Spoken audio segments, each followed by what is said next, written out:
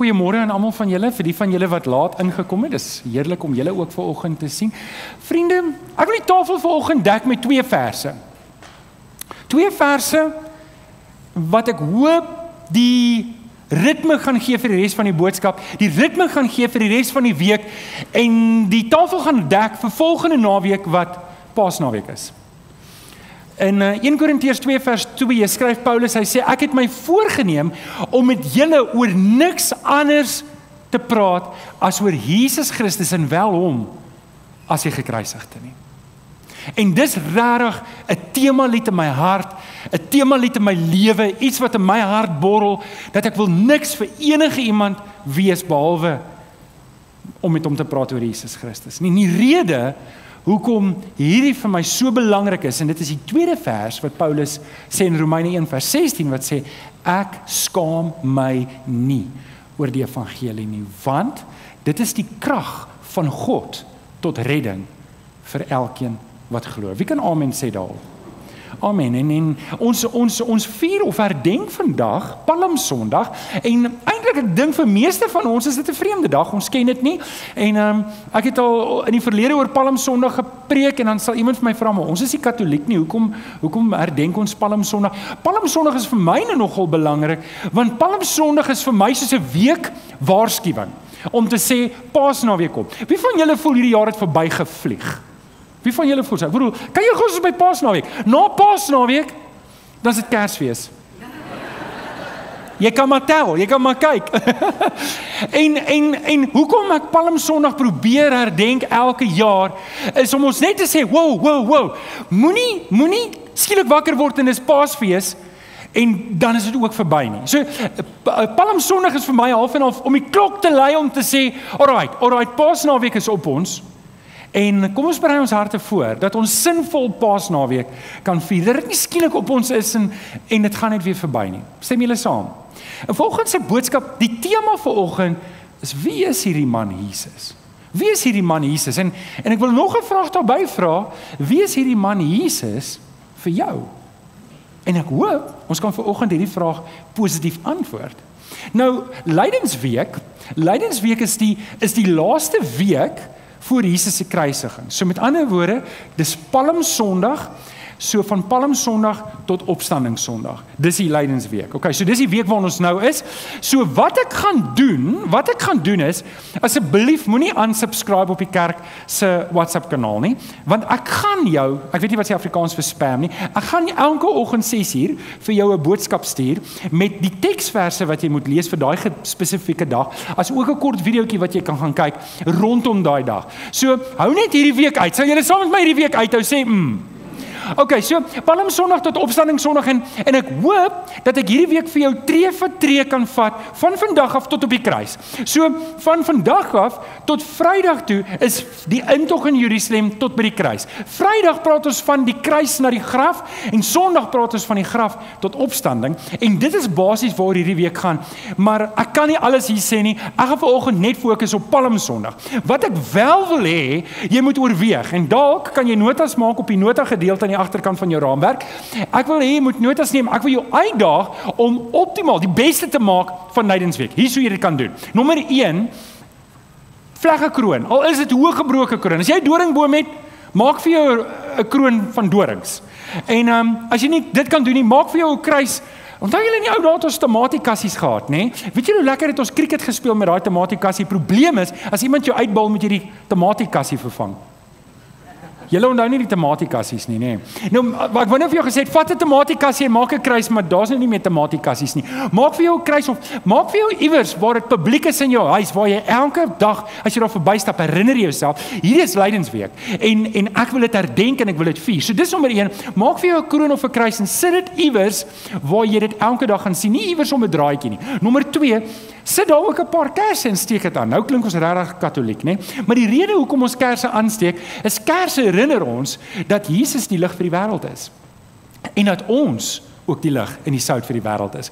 Dan die derde ding wat jy kan doen is vas hierdie week. Nou, jy kan nie vir 'n hele week vas nie, dis wat ek vra nie, maar los koffie of los uh chocolates, dames. Um Um los vleis en gaan net op 'n groente dieet hierdie week. Maar doen iets en die rede hoekom 'n mens vas is want jy herinner jouself aan 'n groter ding. Elke keer as jy lus word vir koffie, dan sê jy, "O, ek vas hierdie week omdat dit lydensweek is." Dit herinner jou en dit fokus jou aandag. Nommer 4 is as jy wit lelies kry, ek weet nie of jy wit lelies gaan kry nie, of wit blommetjies, sit dit ook by jou dekorasie. Wit lelies is ook tradisioneel 'n teken van Jesus se opstanding. Dan nommer 5 is lees ook die gepaste gedeeltes wat ek vir jou gaan WhatsApp. As jy nie op die kerk se WhatsApp is nie, dan is dit nou tyd om vir my te laat weet dat ons jou kan opsit. Die probleem is net jy gaan eers Dinsdag opkom. Is dit oukei? Okay? Want daar's niemand môre op kantoor nie. Dit gesê, ek wil graag weet as jy deelneem. So as jy vir my foto stuur van dit, ek sal dit graag met jou toestemming sal dit op Facebook wil sit van wat julle wat julle dekorasies is. Sal julle oorweeg om dit te doen? Kom ons maak die beste van hierdie lydensweek. Kom ons maak die beste en ons herinner onsself elke dag aan wat Jesus vir ons gedoen het en ons volg hom tree tot tree op die kruis. OK. So. Ons is vandag by Palm Sondag en ek gaan 'n bietjie met julle praat hieroor. En die vraag wat ek vanoggend wil antwoord, wie is hierdie man Jesus? Wie is hierdie man Jesus vir jou? Nou, kom ons staan op. Ons kry ons antwoorde in die skrif. Ek het my Bybel daar agter gesit. My Bybel is nie nou hier voor my nie. Dankie Lizet. Ek gaan jou by. Ek het my Bybel daar agter gesit. Ek het hom gevat, maar hy's nie hier nie. So kom ons hou ons Bybels. Ek hou Lizet se Bybel in die lig en praat lekker saam. Dit is my Bybel. Ek is wat dit sê ek is. Ek het wat dit sê ek het. Ek kan doen wat dit sê ek kan doen. Met my mond bely ek. Met my hart glo ek dat Jesus die Here is. Amen. Amen. Jy kan jou Bybel vanoggend oopmaak by Matteus 21. Matteus 21 vanaf vers 1. Matteus 21 vanaf vers 1. Hier is 'n langerige teksgedeelte, maar ek wil die hele teksgedeelte lees sodat jy die hele gebeure rondom Palm Sondag kan hoor en begryp. En um, terwyl jy blaai na Matteus 21 toe, hier daar's baie mense aanlyn van ek weet Kenneth hulle is van Polokwane. Ek weet om Willem hulle is van die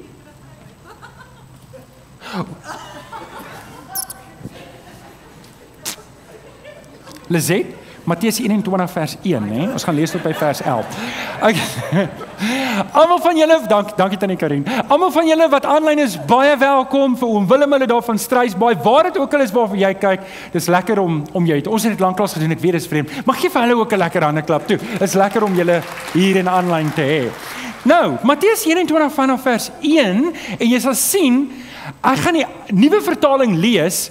Maar ek wil 'n paar stukkies uit die ou vertaling uit aanhaal want die ou vertaling is 'n direkte vertaling en is woord vir woord uit die Grieks uit oorvertaal en daar's 'n paar woorde wat in die nuwe vertaling betekenis oorvertaal is, maar die woorde het verlore gegaan. Ek sê julle nou-nou daarop wys. Maar kom ons lees sommer die 83 vertaling uit. In vanaf vers 1 in hoofstuk 21 Matteus Toe hulle, dis Jesus en sy disippels naby Jerusalem kom. Onthou nou, onthou nou. Ons is op die Sondag. Ons is op die Sondag voordat Jesus gekruisig is. En net om vir julle te sê, Kersfees is nie akkuraat nie. Kersfees is sommer 'n datum wat Konstantin gekies het om te sê, ons soek 'n dag, toe vat hulle heidense dag en sê, "Oké, okay, nou maak ons dit 'n Christelike dag." Um, maar Paas naweek is op die maan Joodse kalender gebaseer. So ek kan onthou daar's mense wat gesê, "Wie dink die regering is hulle om Paasnaweek elke naweek rond te skuif?" Dit is nie hulle nie. Dit word bepaal volgens die Joodse kalender op die maan. So met ander woorde, elke jaar hou ons Paasnaweek op die regte tyd. So met ander woorde, vandag 2000 jaar terug op hierdie Sondag het Jesus en sy disippels in Jerusalem gekom. Verstaan julle hoe akkuraat dit is? So ons is nou in daai oomblik OK, ons is net nie in Jerusalem nie. Ons is hier in Suid-Afrika. So, toe hulle naby Jerusalem kom en en Bet en Betfage aan Olyfberg bereik, het Jesus twee disippels vooruitgestuur en vir hulle gesê: "Gaan na die dorpie daar reg voor julle en soos julle inkom, sal julle daar 'n donkie kry wat vasgemaak is en 'n vul by haar. Maak haar los en bring hulle vir my. En as iemand vir julle iets daaroor sê, antwoord dan: Die Here het hulle nodig." en hy sal hulle gou weer terugstuur. Dit het gebeur sodat die uitspraak van die profeet vervul sou word. Sê vir Sion, kyk jou koning kom na jou toe. Hy is nederig en hy ry op 'n donkie op die vul van 'n pakdier. Die twee disippels het vooruit gegaan en gedoen wat Jesus hulle beveel het. Hulle het die donkie en die vul gebring en hulle klere op die diere gesit en Jesus het opgeklim. Die grootste deel van die skares het van hulle klere op die pad gegooi en ander het takkies van die bome afgebreek en dit op die pad gestrooi. Die mense wat voor Jesus geloop het en die wat agter hom aangekom het, het begin uitroep: "Prys die seun van Dawid, loof hom wat in die naam van die Here kom, prys hom in die hoogste hemel." Toe Jesus Jerusalem ingaan, het die hele stad in beroering gekom en gevra: "Wie is hierdie man. Die skare het geantwoord: "Dit is die profeet Jesus van Nasaret in Galilea." Ag my gebed is so dat jou hart ver oggend in beroering sal gaan. My gebed is so ver oggend dat saam met Jerusalem sal jou hart in beroering gaan en sê: "Man, hier gebeur iets. Die Here het iets kom doen en ons wil ver oggend praat daaroor." En my gebed is ook dat jy ver oggend kan antwoord en dat jy nie ver oggend gaan sê hierdie Jesus is net die profeet nie, maar dat jy sal sê hy's meer as die profeet vir my. Dis waarna ons ver oggend gaan kyk. Ek wil 'n bietjie met jou gesels gesels oor wie is hierdie man Jesus? Wie is hierdie man Jesus vir jou? Is jy reg daarvoor? Daar's net drie spasies op die raamwerk, maar ek hoop dit kan julle mooi deurvat. So, eerste ding wat ons lees van Jesus in hierdie gedeelte is Hy's Jesus die profeet. Wat nie Jesus wat bekend is aan ons nie. Dis eintlik 'n vreemde konsep. Ons ken Jesus nie as 'n profeet nie. 'n Profeet klink eintlik 'n bietjie half en half Ou Testamenties, nê. Maar wag net 'n bietjie. In Matteus 21 vers 11 lees ons dat die mense sê, hulle vra wie is hierdie man? En die mense antwoord, die skare se antwoord en sê dis die profeet Jesus van Nasaret in Galilea. Nou, wat min mense weet, En ek gaan nou 'n bietjie uitbrei oor wat dit wat die betekenis van 'n profeet is.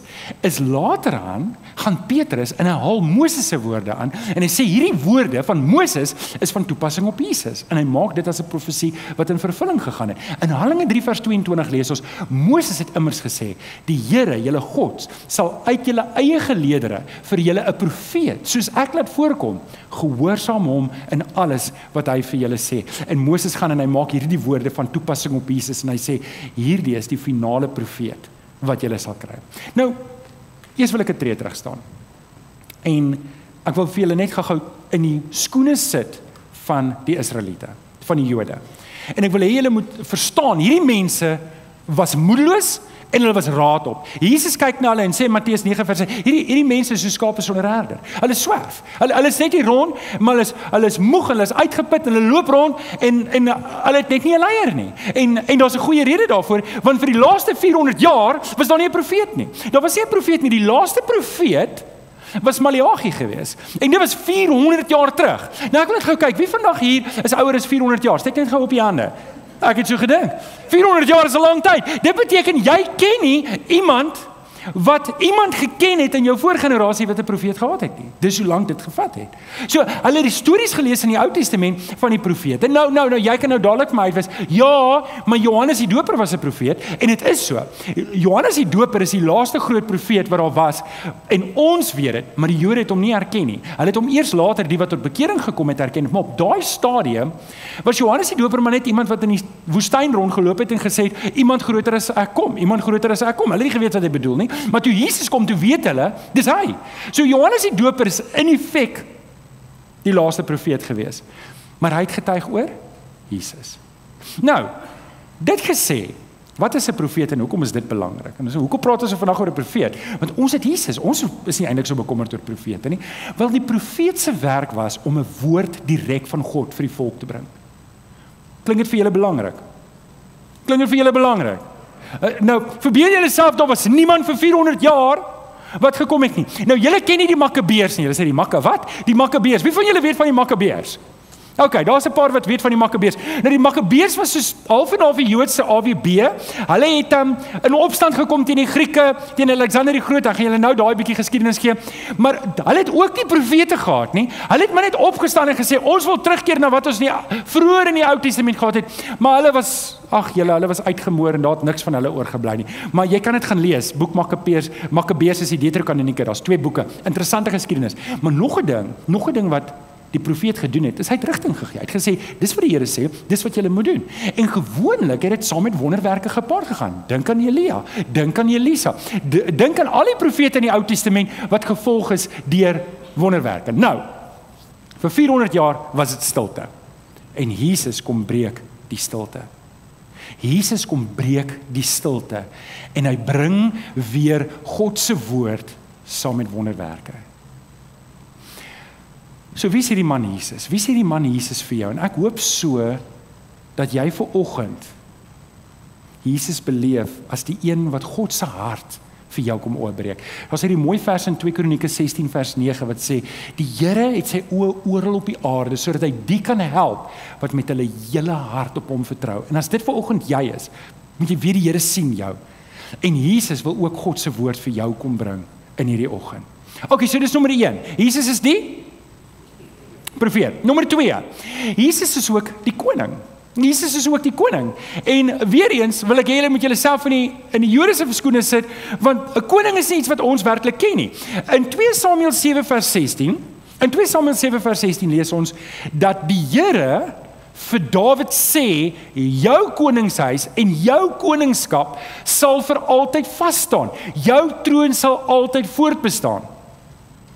En nou lees ons in Sagaria 9 vers 9 en Jesaja sê dieselfde ding. Jubel Sion, jubel Jerusalem, jou koning sal na jou toe kom. Hy's regverdig, hy's regverdig en hy's 'n oorwinnaar. Hy's nederig en hy ry op die donkie op 'n hingsvol van 'n donkie. En nou lees ons in Matteus 21 vers 5.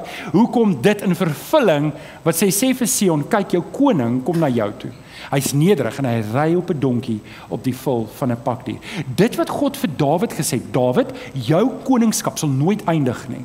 Het Sagaria en Jesaja herhaal om te sê, daai koning gaan kom en hy gaan kom op 'n donkie en dit gaan die merker wees. Nou wil ek hê julle moet dink. Dink julle self gou-gou in hulle skoene in. En ek moet julle nou waarsku, ehm um, weet julle wat se content alert? Dis wanneer daar nou 'n klomp geskiedenis gaan kom en ek wil hê julle moet nou wakker bly. So okay, julle gaan gou by. Haal gou almal diep asem. Ek gaan vir julle 'n belangrike geskiedenis gee wat vir jou gaan help om die Ou Testament 'n bietjie te verstaan. Net 'n bietjie. Is julle almal by? Gee my 3 minute om geskiedenis met julle te deel. Mag ek sê mm. Okay, gaan ons. So wat jy moet weet is van die profete was al 400 jaar stilte. Dit het ons klaar gesê. Van Maleagi tot by Jesus. Kom ons kom ons sit Johannes die Doper net eers op die kant lê. Nou dit gesê, 400 jaar is 'n lang tyd. Nou, daar was twee belangrike persone in die in die Israeliete in die in die Judee Judaïse kom ons sê in die Jode. In die Jode se se mondering en dit was die profeet en die koning. OK? Dit was die twee belangrike mense. Nou gaan ek vir julle wys 400 jaar sonder 'n profeet. Nou, dalk weet jy dit nie. Maar die is na na Salomo. Kyk, Salomo was maar 'n losbandige ou gewees. Hy was die koning na Dawid. Dit was Saul, toe sit Dawid en toe sit Salomo. Nou Salomo was was 'n baie losbandige ou en hy het sommer van die afgode gaan bid. En toe het God hulle gestraf en toe toe breek die koninkryk, die verenigde koninkryk van Israel op in twee. So Juda en Benjamin, die twee stamme, het 'n aparte volk gevorm en Israel het die ander 10 volke die 10 stamme gevat en hulle het 'n volk gevorm. So hulle twee aparte konings gehad. Ek weet 'n klomp van julle weet dit nie eers nie. Dis 'n interessante geskiedenis en dis hoekom die Ou Testament baie keer nie vir jou sin maak nie want jy lees van hierdie koning, jy lees van daai koning en wie is al hierdie konings nou op somme op dieselfde tyd? Maar dis hoekom. Israel het sy laaste koning Hosea, nie die profeet nie, die koning Hosea gehad in 700 24 na Christus. Dit beteken van 724 voor Christus tot by Jesus se geboorte was daar nie weer 'n koning vir Israel nie. Juda was 'n bietjie gelukkiger. Hulle laaste koning was Sedekia 586 voor Christus het hulle laaste koning gehad. So hulle was lank sonder 'n profeet, maar nog langer sonder 'n koning. Hoekom sê ek vir julle al hierdie goeters? Want terwyl hulle nie onder konings was nie, was hulle onder vyandige regerings. Hulle was onder Babelonie onder koning Nebukadneser vir 70 jaar. Ken julle die bekende liedjie van Bonnie M? By the rivers of Babylon. Ken julle dit? As ek anders sing gaan julle saam sing, né? Is die Bonnie M wat dit geskryf het nie? Dis 'n Psalm. En hulle het geskryf, hulle sê, "Hoe kan ons want die mense sê, maar julle is so vrolike volk. Sing vir ons 'n lofliedjie man. Ons hou van julle liedere. Ons verstaan nie julle taal nie, maar julle klink so mooi as julle sing." En dan sit hulle en sê, "Hoe kan ons sing?" Want koning Nebukadneser het ons het ons tempel tot op die grond afgebreek. Hoe kan ons bly wees? Vir 70 jaar was hulle in ballingskap gewees. Daarna het het Kores hulle oorwin en het Persië oor hulle geregeer. Dit het dit het vir 207 jaar aangehou. Nou Kores die tweede was daarom hy was daarom 'n vriendelike ouetjie. Ek dink hy het gehou daarvan dat mense van hom onthou. Hy het daarom die tempel toe herbou, maar dit was maar 'n 'n afgewaterde weergawe van die tempel. OK. Toe kom Alexander die Groot al ooit gehoor van Alexander die Grote? Alexander die Grote was 'n ander ou. Toe hy sien die Jode, hy kry nie reg met die Jode nie toe gaan offer hy 'n vark binne in die tempel. Net om die Jode kwaad te maak, net om hulle te wys. Dis geniepsig, nê? En ehm um, na die Grieke was dit die Romeine, Julius Caesar het die Grieke oorgegooi en daarna het hy geregeer oor die Jode. So jy kan verstaan, kyk, jy kan sien die Jode was vuisfoos. En en jy kan die vraag vra en kom ons vra die vraag. Hier is die volk van God. Hoekom laat die Here dit toe? Hoekom laat die Here dit toe dat die volk altyd rondgestamp word, rondgegooi word? Wil julle weet hoekom? Want hulle het hulle ore toegedruk vir die Here. Hulle het altyd hulle eie kop gevolg. Want sien, is dit nie so dat jy wanneer jy 'n bietjie voorspoed in die lewe geniet, dan verbeel jy jouself, listen I'm the man. Nee. Weet jy kan 'n splinternuwe fiets koop en met hom trap, dan voel jy baie trots op jouself. Kyk, ek is die man. Tot jy jou eerste krappie op jou fiets kry, dan is jy hartseer. Ek praat van die karremans. En ehm um, en net so het hulle die Here se seën beleef en hulle het vir hulle self toe geëien en dan gaan aanbid hulle die afgode van die ander lande en dan die Here hulle gestraf. Kan julle op daai prentjie sien? Israel is maar net 'n wurmpie. Sê maar, hoe kan jy so praat van God se volk? Hoe kan jy sê hulle is net 'n wurmpie? Wat dis nie ek wat dit sê nie, dis God wat dit sê. In Jesaja 41 vers 14 sê die Here, jy's niks meer as 'n wurm nie, Jakob. sien die hele ding van die Israel volk is elke keer as hulle sukses bereik het was hulle nie te danke daarvoor nie hulle God was te danke daarvoor dis iets wat hulle reg gedoen het nie Dit sê hulle het onder God se seën geleef en hier is die ding wat ek wil hê jy moet verstaan. sien julle hierdie mooi dak hierso? Dis 'n mooi dak. Wie van julle is bang vir haal? Wel, ek skaap dit al nie hierso nie. Maar wie van julle sal bang wees vir haal as daar 'n storm is daar buite terwyl jy hier sit? Niemand nie, is veilig onder die dak. Maar as jy daar buite in die parkeerarea is en daar val haalkorrels in jou soos in Johannesburg, so groot soos cricketballe, sal jy dan bang wees? Ja, jy sal. En dis baie keer wat ons doen. Ons beweeg onder God se seën uit terwyl die storm aan is en dan beleef ons en dis presies wat die volk gedoen het. Dis nie God wat hulle verwerp het nie, dis hulle wat onder God se seën uitgegaan het en baie keer beleef ons dit in ons eie lewe. Nou, wie van julle ken die liedjie wat ons in die sonnaskool gesing het? Hosanna, Hosanna, Hosanna. OK, wat beteken die woord Hosanna? Sê weer? OK, ek hoor God met ons. Ek gaan julle nou sê.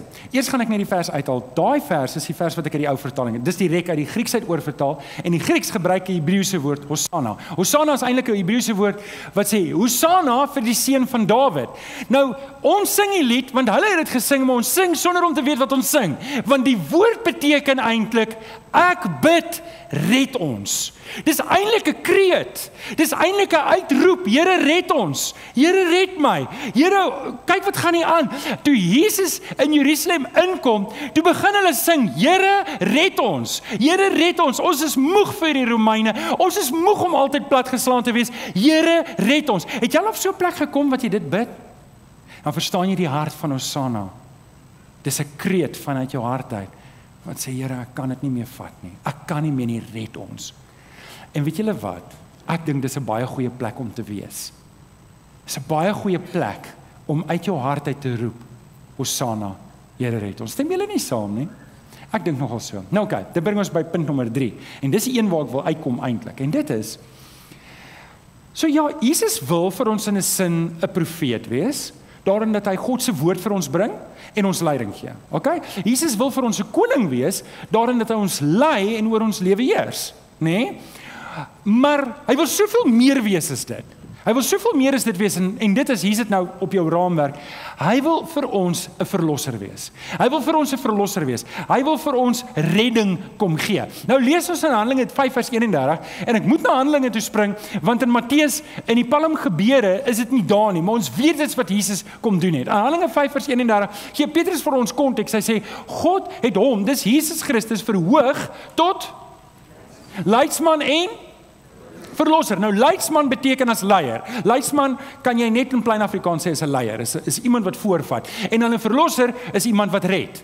So dis die, dis die, die twee woorde in itself is nie spesiale woorde nie, maar binne in hierdie konteks is dit baie spesiale woorde want dit is wat God vir my en jou kom gee in Jesus Christus. So en dan lees ons verder en hy aan sy regterkant sodat hy Israel tot bekering kan bring en hulle sondes kan vergewe. Maar dis nie net vir Israel nie, dis ook vir my en vir jou. Die Here wil vir my en jou, Jesus wil vir my en jou leiding kom gee. Leiding met 'n E en 'n U wat beteken hy wil vir ons 'n leier wees. En tweedens wil hy vir ons verlossing gee. Hy wil ons verlos van ons sonde, hy wil ons verlos van ons geite, hy wil ons verlos van onsself en hy wil ons verlos van 'n sondige wêreld waarin ons vasgevang is sodat ons vry is om vir hom te leef. Wie kan amen sê daar? OK. Nou, dis waar Lydensweek inkom. Lydensweek is die week waarin ek en jy dag vir dag, stap vir stap saam met Jesus stap en hom volg tot op die kruis. En ek hoop so, ek hoop so dat die Here my vanoggend gaan help om iets in jou hart los te maak dat jy toe daai dag toe die Here jou gered het. En ek wil hê vir 'n oomblik, dink gou terug. Ai jene, ek het julle baie vertel van die ou wat my na die Here toe gelei het. Renier. Onthou julle, ek het julle baie vertel, sy naam was Bouncer. Hy sou ver oggend hier gewees. Is jy hier en hier? Ek wil net sien. Hy het gesê hy kom dalk maar ek het ek het hom nie gesien nie. Ek wou julle voorstel aan hom en ek dink dis so cool as hy hier is. Maar ek wil hê jy moet teruggaan na die dag wat die Here jou gered het. Dink gou terug aan daai dag wat jy geweet het, haai, maar nou het ek 'n verhouding met God en ek is vry van my sonde. En dalk sit jy hier en jy het nie so 'n dag gehad nie en jy weet eintlik dat praat nou nie van die wat oor tyd na die Here toe gekom het, ek praat nou van mense wat weet jy sit hier so en jy's eintlik verlore. Dan's hierdie 'n geleentheid om die Here Jesus aan te gryp. Want anderste is ek en jy standaard verlore in ons sonde. So, Jesaja 53 vers 4 tot 5 en hiermee gaan ek begin afsluit. Toe het hy en dit verwys na Jesus, toe het hy ons lyding op hom geneem. Ons siektes het hy gedra, maar ons het hom beskou as een wat gestraf word, wat deur God geslaan en gepynig word. Oor ons oortredinge is hy deurboor en oor ons sonde is hy verbrysel. Die straf wat vir ons vrede moes bring, was op hom en deur sy wonde het daar vir ons genesing gekom. Wat wil ek hê moet hierdie week in jou hart gebeur? Nou ek wil jou nooi om saam met my te kom. Ek wil jou mooi vra vir oggend. Ek wil jou mooi vra. Moenie dat hierdie week verbygaan en dan Vrydagoggend staan jy op en sê, "Ag, oh, dis goeie Vrydag nie." Ek ek ek wil jou vra jou mooi, wil jy nie hierdie week doelbewus ingaan om te sê, "Hierdie is die week. Hierdie is die laaste week." Voor Jesus se kruisiging en tree vir tree saam met hom gee. Ek wil hê jy moet hierdie week, ek wil hê môreoggend moet jy saam met my wel vandag moet jy die blydskap deel saam met my dat Jesus het ingekom en hy het nie gekom as die koning vir die Jode nie, hy het die koning, hy's die koning vir my en jou. Hy's ons verlosser. Wie kan amen sê daarop? Ek ek wil hê môreoggend moet jy die verse lees oor hoe Jesus die tempel gereinig het en jy moet saam met my verontwaardig wees. Jy moet saam met my dink hieroor, nie net oor die teks lees nie, maar kyk wat staan nie en sê hier's mense wat geld gemaak het deur die armste van die armstes en hulle uitgebuit het en Jesus wat hulle in die oë kyk en hulle en hulle tafels omgooi en sê julle byt julle julle is rowers julle beroof God se mense. Hierdie is veronderstel om die huis van gebed te wees en julle het dit 'n rowersbelong kom maak waar julle mense ek wil hê jy moet môre saam met my verontwaardig wees oor wat daar gebeur. Ek ek ek wil hê jy moet saam met my, saam met my by Jesus se disippels gaan sit aan tafel en ons gaan volgende Vrydag gaan ons nagmaal bedien en ek wil hê jy moet saam met my jou hart stil maak en die intimiteit beleef wat die disippels beleef het toe Jesus gesê het hier trek ons 'n lyn. Dis die ou verbond. Hierdie is die nuwe verbond. Hier is my liggaam wat vir julle gebreek word. Hier is my bloed wat vir julle vloei. My gebed is dat jy daai intimiteit sal beleef. My gebed is dat jy saam met my donderdag, donderdag na die tuin van Getsemane toe sal gaan. My gebed is dat jy saam daar sal kniel by die Here Jesus en hoor hoe sy hart vinniger begin klop en hoe die angstigheid by hom opkom en hoe hy by die Vader pleit, Vader, as dit enigstens moontlik is, as dit enigstens moontlik is, laat hierdie lydingsbeker net verby my gaan. En hy het vir 'n uur pleit by die Vader en die verse sê sy sweet het soos bloeddruppels op die grond gedrup. Wil jy saam met my daai angstigheid beleef en daai daai diep bedroefdheid? En wil jy met saam met my daar opstaan en saam met Jesus en saam met die disippels uitstap en En hier kom Judas. Hier kom Judas en ons is bly om vir Judas te sien want dis ons broer en waar was jy Judas? En hy loop reguit na Jesus toe en hy soen Jesus op die wang. En jy besef hier is nie hier is nie 'n soen van liefde nie, hierdie is 'n soen van verraad. Wel jy, jy moet saam met my die vrees van die disippels beleef toe die soldate van oral af uitkom. En aanvanklik het ek en jy soos Petrus gevoel en gesê, Here, ons sal saam met U sterf vandag. Ons sal saam met U tot die dood toe gaan. En jy moet dit jou begewe want jy was nie sterk genoeg nie en toe daai oomblik aanbreek, toe vlug jy saam. Jy vlug saam en jy hardloop net. En jy hardloop net. En soos jy hardloop, kry jy skaam. Kry jy skaam vir jou eie woorde? Kry jy skaam want jy weet dis die Messias en jy's besig om weg te hardloop. Soos wat ons soms doen. Ek wil hê jy moet saam met my ook woede hê want ons was daar toe Johannes toe Jesus vir Nikodemus gesien het. En Nikodemus sê Here ons weet u is 'n man van God. Ons weet dit. En dis hierdie selfde manne wat nou vir Jesus in die gesig klap en sê jy laster teen God en hom skuldig bevind. Ek wil hê moet saam met my kwaad wees. Hoe manne wat geweet het wie Jesus is dit nog steeds doen. Ek wil jou saamvat daar waar Jesus verniel is, vermink is toe hulle met sweep aanhou slaan het. Aanhou slaan het totdat daar amper niks van Jesus oor was nie. So erg dat ek en jy op 'n stadium wegkyk en sê Here, ek kan nie verder kyk nie. Ek kan nie verder kyk van wat om hier aangaan nie. En ek wil saam met jou die hopeloosheid hê toe ons sien dat Jesus gekruisig word hier voor ons oë en toe die eerste spyker in sy in sy arms gedryf word en ons daar staan en ons dink maar hoe kan die manne doen? Hoe hoe kan dit gebeur en ons besef Daar's nie hoop nie. God gaan Jesus nie vandag kom red nie. Tot daartoe het ons dalk nog hoop gehad. God gaan 'n wonderwerk doen. Hy gaan 'n engel stuur. Maar hier het vir ons duidelik geword God gaan dit nie doen nie. Alleen jy moet saam met my teleurgesteld wees wanneer ons daar staan en die skare koggel Jesus en spot met Jesus en dryf met hom selfs die soldate selfs die mense wat langs Jesus hang dryf met hom die spot en dit hou aan en aan en aan en aan En dis dieselfde mense, dis dieselfde mense wat 'n week terug geroep het, "Hosanna, Here red ons." Hulle is dieselfde mense wat nou sê, "Kruisig hom." Hoekom red jy jouself nie van die kruis af nie? Ek wil hê jy moet saam met my huil. Vrydag as ons besef Jesus het sy laaste asem uitgeblaas en het werklik gesterf. Maar as ek een ding kon vra van die Here, dan was dit dat ek en jy die gruwel en die skok moet besef. Wanneer ons so rond staan en begin vra, maar wie's die een wat die spykers in sy arms ingekap het? Wie's die ene? En ons kyk so af en ons sien ons eie hande is vol bloed en ons sien die spykers in ons eie hande. Want dit was vir my en dit was vir jou sonde wat Christus dit gedoen het. En dan die opgewondenheid en die dankbaarheid, maar ook die skaamheid wanneer ons hoor Jesus het opgestaan en hy die dood oorwin. En vriende, ek wil jou ek hoop so, ek hoop so dat ek kan jou hierdie week saamvat. Dat dat dit nie net verbygaan nie, dat dit iets wees wat 'n anker is in jou hart in hierdie week. Mag die Here vir my en jou seën hierdie week dat ons al hierdie gebede weer het dat dit van voor af op borrel in ons hart. Sodat ons weer na hierdie paastyd werklike getuie het dat ons sout nie laf geword het nie, maar dit is 'n storie het om te vertel. Wie van julle kan amen sê daarop? Nou ek wil vir julle opdra aan die Here en ek wil vir julle bid. Ek wil vir die Here vra dat hy ons sal seën hierdie week met 'n diep bewussyn van sy teenwoordigheid. Amen.